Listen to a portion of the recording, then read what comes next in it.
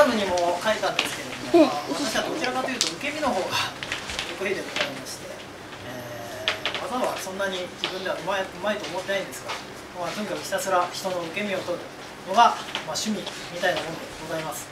ですのでせっかくですから今日はご来賓の皆様のどなたかの受け身を取りたいなと思ってるんですが町長。合気道の経験は？あじゃあいい機会ですね。体験してみませんか？はい、じゃあ立ったままでお願いします。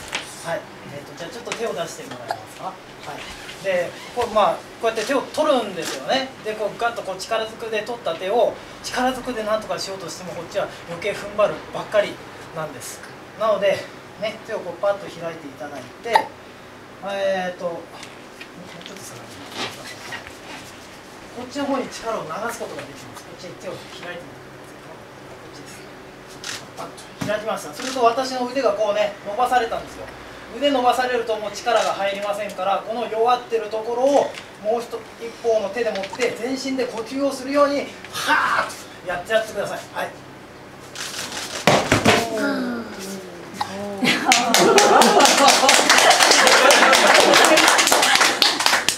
はい。あ、どっ